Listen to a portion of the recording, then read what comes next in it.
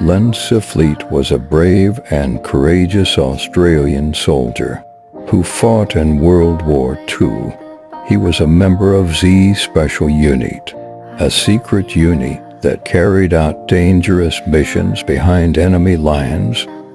In 1943, Siffleet was captured by the Japanese on a mission to establish a coast-watching station in New Guinea he was tortured and interrogated, but he refused to give up any information about his fellow soldiers. On October 24, 1943, Siffleet was executed by the Japanese. He was blindfolded and beheaded on a beach in front of a crowd of onlookers. Despite the horrific way in which he was killed, Siffleet's death was not in vain. His courage and sacrifice